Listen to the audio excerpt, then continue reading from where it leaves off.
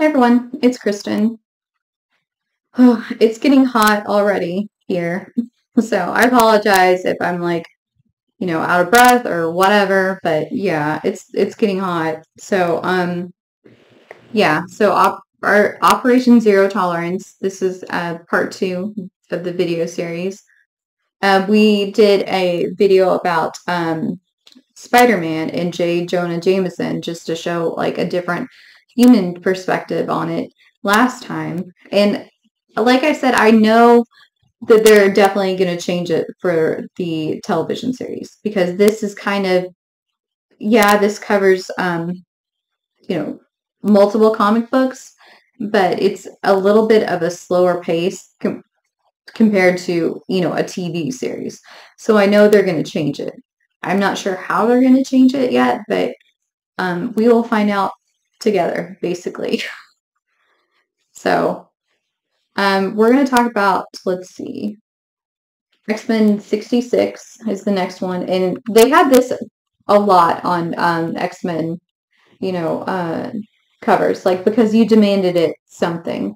And, like, there's a, because you demanded it, like, Gambit got his own series, because you demanded it, um, the end of Dazzler. this series, which is so sad that, you know, just various other things like because you demanded it, here it is. So, which I liked the Dazzler series. It was fun. It was different, but, you know, obviously it's not like a typical comic book series that most people would read, I, I believe.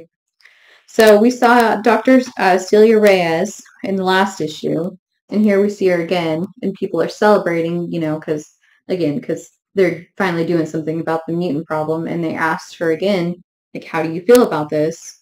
You know she's like it's about time the x-men like every mutant got what they deserve. And then she whispers you know and god help us because of course. Um so a male in his 20s with multiple stab wounds is brought into the er and she does she and her team do their best to save him but then they pronounce him dead. And then they hear a voice say, and and that's all, just like that. And they're like, what the heck? And one of the nurses is like, but I don't understand your flesh and blood. I took your, you were dead. I took your pulse myself. And he's like, I am your salvation. I'm your savior against the mutant who hides among you. And they're like, oh, Dr. Reyes, look out. Because, um, and she's, you know, because he's targeting her, like she's mutant, and she's like, I have no idea what you're talking about. When, of course, she knows because she is mutant and she's been dreading this day all her life. Like all this, all the work, all the sacrifice she, you know, went through to become a doctor, you know, pretty much it's gone. And her, um, force field reacts like instantaneously. Like she has no control over any force that you know um, reacts against her. Her um, force field automatically triggers. Triggers. It's a cytoplasmic biofield and extends six inches from anywhere on her body. And it hurts, like when she gets hit, it hurts, but you know, it hurts less than, you know, dying or it actually the blast actually hitting her. So he basically takes one of the nurses captive and says, "Let's see how much you care about these people, like since you you know since you hit among them, and let's you know basically using him for blackmail." And he said, "All you need to do is just stop this aggression." And she says, "I can't." And he took that to mean, you know, I can't, I, you know, I won't stop. I won't, you know, let you basically kill me. But really, she's saying I can't because I can't turn it off. So Iceman comes to her rescue.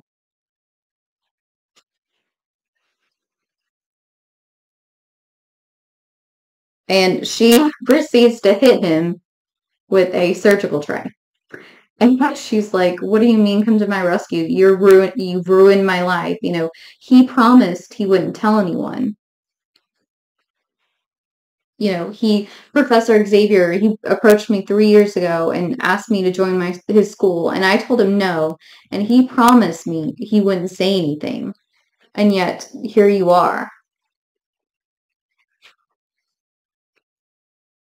So they're still trying to escape from the Prime Sentinels. So Bobby encases the room in ice in order to get away. They go through the sub basement.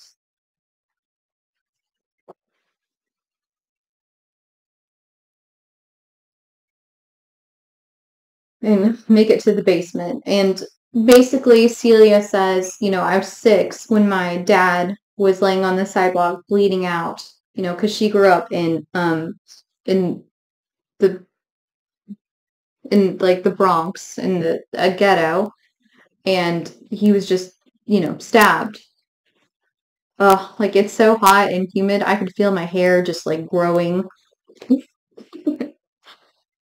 Oh, anyway, sorry. And of course, you know, as I've said before, I can't turn on the air conditioner because it makes too much noise. Like you won't, you can't, because the air conditioner um, is right above me, the vent, and um, if I turn it on, then you can't even hear what I'm saying. So, unfortunately, like I have the fan on, but I can't turn it on all the way high because again, it makes too much noise. But um, like I said, I yeah, so I'll just have to suffer a little bit.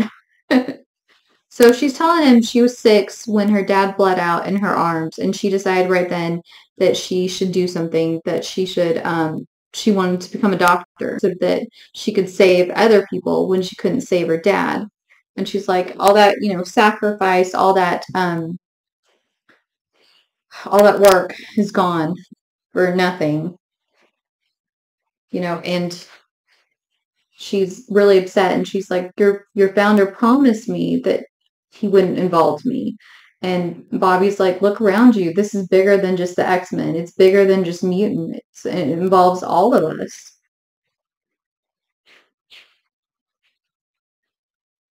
So, and then Bastion at the very end shows again, you know, Xavier that he's captured all of his, well, not all of his X Men, but, you know, these X Men.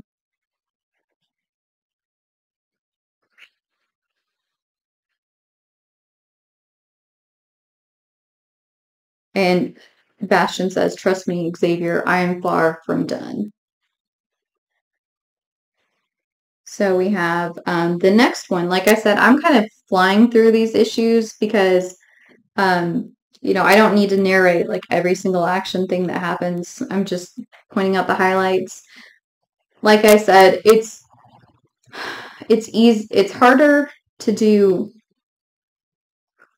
the pacing is definitely comic book pacing because you know you have to draw out and, and narrate the action whereas one scene in um in, in the anime series you know it's it happens pretty quick like they blast her she puts up her force field basically all in one frame and here you have to you know show them blasting her and then she put anyway so i feel like they will definitely change this up but they will keep like the heart of what it is. Um, let's see. So that one is done. Okay, so we'll move on to um 67. Again. So we are now in Israel and um Sabra, who is a mutant um Mossad, Mossad agent, um, she has downloaded files from her government that she feels like the professor and the X-Men should know. They're about um, Bastion. And she walks out of there thinking she's home free, but no. The um, Prime Sentinels, whose part of their objective is to protect like their secrets, um, and well, and of course she's a mutant, so you know, um, part of their objective is to protect their secrets and take out mutants. So they ask her for the disc back. She says no. And so a fight ensues. And she is um, has super strength and durability, and she can fly. I think she, I'm pretty sure she has durability. So she's like, I have to get this disc to Xavier and the X Men.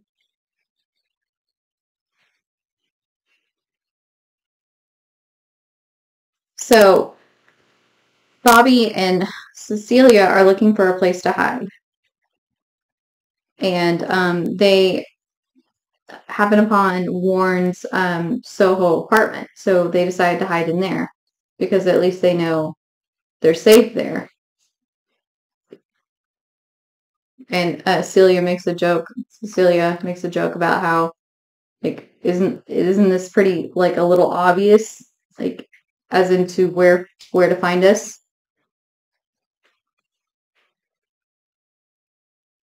So they hear noise and you know, Bobby's like, shush. And she's like, don't tell me to shush. And he unleashes an ice blast and accidentally um, ices this poor girl's arms. You can see her. She's like, oh, cold. This is so cold. Ow, ow. And of course, Dr. Reyes, you know, ch- chastised Bobby for almost giving her frostbite. And they're like, who are you? Well, Bobby asked who, you know, who she is because, of course, Celia wouldn't know.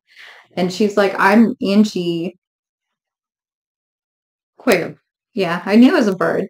Um, she was Candy Southern's old roommate, which Warren used to date Candy Southern. And she says, I'm house sitting for Warren.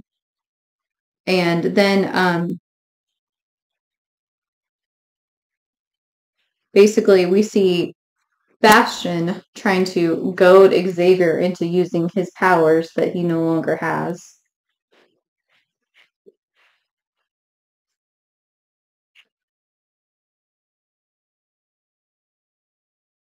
And Xavier counters that says telepathy doesn't even work on you because he knows because Jean, you know, tried it on him and it didn't work. And this was, you know, that was in 333 and that was before Onslaught happened. So yeah, he already knew that, you know, telepathy wouldn't even work on him even if he had his powers. So um Angie thinks that you know, Dr. Reyes looked bummed, so she's like, Do you want to talk about it? Is there anything I can do? She's like, No, I really don't. I really don't want to talk about it. And she's like, Well, okay, if you're, you know, if you're sure.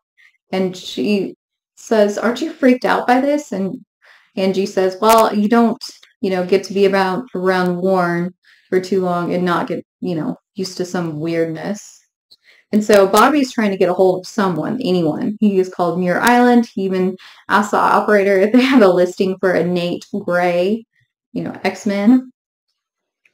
So, and Bobby starts shifting to his human form and she, she's like, what's going on? And guess what? Yep, that's right. Angie is a sentinel. Like you just, and that's, that's the thing that's so dangerous about these sentinels is that like right here, she looks and reacts and acts just like a human. And then, but no. And look, she changed clothes. but yeah, so that's what's so dangerous about these sentinels. They look human. They act human. Like you would never know that they're not human until the moment right before they were about to strike. So they are saved again by gunfire. Apparently, like because sentinels can counteract powers, and they've been saying, you know, different sentinels have been saying, you know, I've, I've counteracted your ice powers. That's what she did to Bobby, and she they don't know how to counteract um, Dr. Reyes' shields yet. So they're still trying to figure that out. But again, saved by gunfire. And this is um, NYPD Detective Charlotte Jones, another um, one of uh, Warren's exes. And um, she, you know, saves the day by shooting at the Sentinel. And of course, like I said, Sentinels, when they get shot, they don't die, but it does slow them down. Gives, you know, people a moment to get away. So she takes them to the police station where they think, you know, they'd be, where she thinks they'd be safe.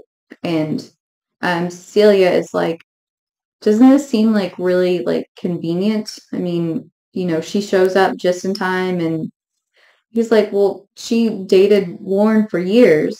I mean, she's one of my friends. I mean, she was almost family. So there's no way that, you know, she would she would betray me. But little does she he know. You can see all the sentinels waiting behind the, the two-way mirror. And what happened is that they have her son, Timothy, and they threatened to kill him if she didn't bring um, Bobby and um, Dr. Reyes to you know the police station. And if you're wondering, like I didn't think I mentioned this before, but if you're wondering why Dr. Reyes sounds familiar, she was a character in the New Mutants movie. But I mean, I think that the creators just needed a doctor figure that was in the X-Men universe because honestly, she doesn't even want to be an X-Men. So she's not in like a ton of issues, honestly. She's not like a huge part of the team. But um I think they just needed like a kind of vaguely familiar doctor associated with X-Men, so they used uh, Dr. Reyes in that movie. So Bobby figures out that there's someone like there's someone there. And all of a sudden though, when they're about to attack, the lights go out. And then that's thanks to Marrow. I mean, how she found them, I don't know. I think she might have some tracking skills or something, being a, a Morlock. So the next one, and this is kind of reminiscent of, you know, the poster for um, Uncanny X-Men 141, 142, you know, Days of the Future Past and it's saying fugitive on it. So, two police officers go down to the basement to investigate what's going on. And Maro, Marrow now knocks them out, and she muses to herself, like, I don't even understand why I didn't kill you. So maybe Spider-Man's words had an impact on her. So as they burst through. I mean, there's like five of them. Like, what are they going to do? So what happens is they blast them, and Celia's powers knocks them through the wall. So they escape, and then they're in basically the lobby, and there's the Prime Sentinel cops, and then there's the real cops. And they're like, great, now what are we supposed to do? And he says, like Bobby says, I wonder if Scott ever had days like this. And then he says, she's like, what? He's like, I just wondering if things could get worse. And you never say something like that because, of course, they can always get worse. I mean, yeah, it's, it's jinxing yourself. And then we come back to um, Senator Robert Kelly and he he's just he's just distraught because he's like zero tolerance zero tolerance. Isn't that you know how um, hitler felt about and the nazis felt about the jews? Like these are you know these are people. I mean of course like i just wanted to keep people safe because of course he went through an assassination attempt. His wife was killed murdered. So he just was trying to make the american people safe. And um you know, Gyrich says you're just looking out for the American people's best interest. And Robert uh, Kelly says, but ordinary people are getting caught in this war, getting caught in the crossfire. They're, you know, they're dying. And Gyrich says, you know, ca- friend casualties of friendly fire is to be expected. Like that's the nature of the beast. And Senator Kelly can't believe what he's saying. He's like, that's insane talk. And he's like, for insane times. And basically, Robert Kelly is like, no, this this has to stop. I'm going to talk to the president and I'm going to talk to the council. And he says, we have a problem. We have a big problem. Because he just doesn't feel like this is right anymore. Like, it doesn't, the ends don't justify the means.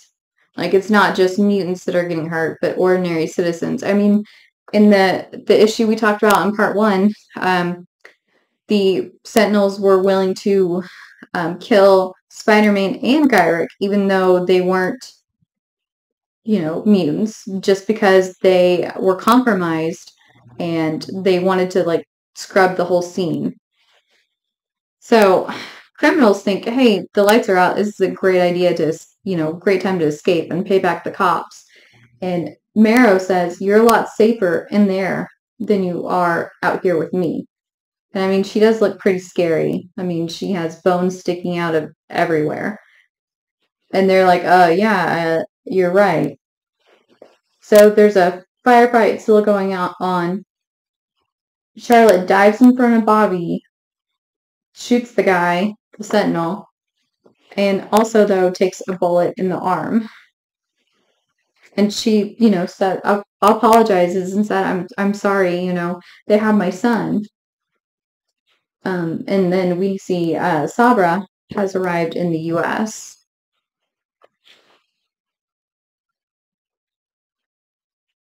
And then she, you know, shows um, Dr. Reyes a picture of her son, Timothy, and Mar- Marrow.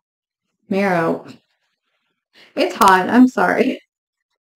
Um, she shows up and says, you know, Morlocks get killed all the time, and yet one pretty surface child is in danger and the whole world goes, you know, comes to the rescue.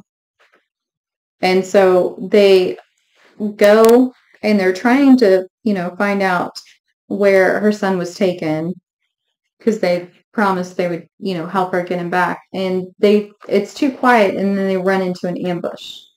Like, how in the world are they going to get away from all of those? So we will leave that for the conclusion for part three of this series and you will know like how they got away and then we can kind of discuss like the implications of what all has gone on so i hope you join me for that video and until next time bye